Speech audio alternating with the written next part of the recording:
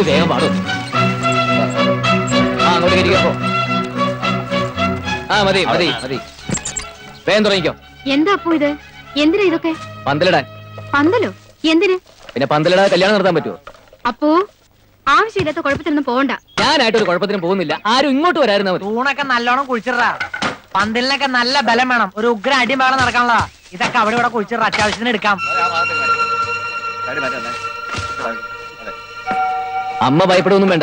എന്റെ മായയുടെയും കല്യാണമേ ഈശ്വരൻ കുറിച്ചിട്ടതാ. അത് നടക്കും. അമ്മവാ. മാവോ. അമ്മായി. മായി എന്താ? അമ്മാവാ എന്റെ കല്യാണമാ. ഏ?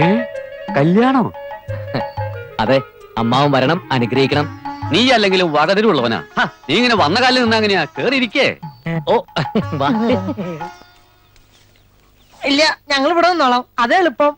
അപ്പുന്റെ കല്യാണ.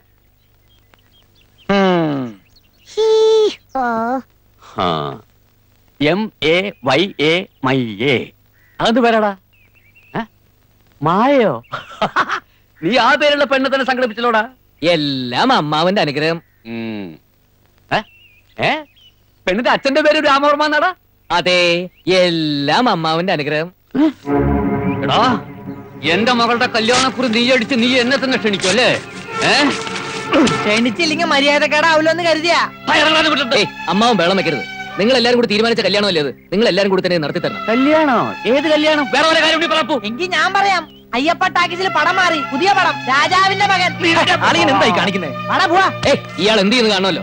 നീ അപ്പൊ ഒരുങ്ങി തന്നെയാണ് പുറപ്പെട്ടിരിക്കുന്നത് അല്ലേ? അതെ. നീ ആരാന്നാടാ വിചാരം?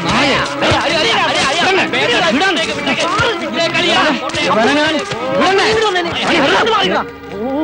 എന്താ പൂ മായ തന്റെ വീട്ടിൽ കൊണ്ടു നിർത്തി എല്ലാം അവസാനിച്ചു കരുതിയില്ല പുല്ല് എനിക്ക് ജീവനടി ഞാൻ അവളെ വിളിച്ചിറക്കി കൊണ്ടുപോകും ചെയ്യും കല്യാണം കഴിക്കുകയും ചെയ്യും തടുക്കാൻ പറ്റിയെങ്കിൽ വന്ന് തടുക്കണം ഓപ്പേ നീ അങ്ങോട്ട് നടക്കാൻ ചപ്പു ഇനി കടുങ്കൈ തന്നെ വേണ്ടി വരും വേണ്ട തല്ലാനും കൊല്ലാനും നിൽക്കണ്ട ഞാൻ മായോടെ എല്ലാം പറയാൻ പോവാ അവളെ പറഞ്ഞ് സമ്മതിപ്പിച്ച് കൊട്ടാരത്തിൽ കൂട്ടിക്കൊണ്ടുപോയി എനിക്കറിയാം മായേച്ചി സമ്മതിക്കില്ല അപ്പോട്ടിനെന്ന് പറഞ്ഞ മായച്ചിക്ക് ഭ്രാന്താ. കേറി പോടിയാസത്തെ മുതിർന്നവർ സംസാരിക്കുന്നവരുടെ പാത്തും പതിയുന്നത് കേൾക്കരുത് പല പ്രാവശ്യം പറഞ്ഞിട്ടില്ലല്ലേ താൻ എന്തിനാ അവിടെ മെക്കിട്ട് കയറുന്നത് അവൾ പറഞ്ഞതാ ശരി. കൊട്ടാരത്തിലെ കാര്യം മായയോട് മിണ്ടിയാ മതി. ആ നിമിഷം അവൾ ഇറങ്ങി ഓടും അവന്റെ അടുത്തേക്ക്. അതോടെ എല്ലാം തീ ഇനിയിപ്പോ എന്താ ചെയ്യുക? എന്ത് ചെയ്യാനാ? കണ്ട ശുനകനെയും ശുംഭനെയും ഒക്കെ വീട്ടിൽ വിളിച്ച് കയറ്റുമ്പോ ഓർക്കണായിരുന്നു. എന്റെ തലയ്ക്ക് പ്രാന്ത് കയറുക.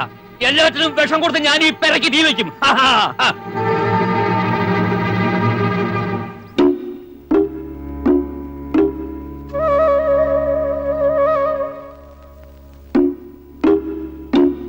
മോളിങ്ങി വന്നേ. മോക്ക് കൊട്ടാരത്തിൽ കഴിയണമെന്നുണ്ടോ? അവിടെ ചെന്നാൽ ഈ റബ്ബർ വിളയും മുത്തുമാലയും ഒന്നും ഇടേണ്ടി വരില്ല. തങ്കത്തിൽ രക്തങ്ങൾ പതിച്ച ആഭരണങ്ങളാ. ഇവിടത്തെ പോലെ പഴങ്ങഞ്ഞി മുളകേ മന്തി ഒന്നുമല്ല. നാല് നേരവും സദ്യ കൊതിച്ചിട്ടെന്താ കാര്യം? എന്റെ ജാതകം ചേരില്ലല്ലോ. മായേച്ചിയാണ് സമ്മതിക്കുകയില്ല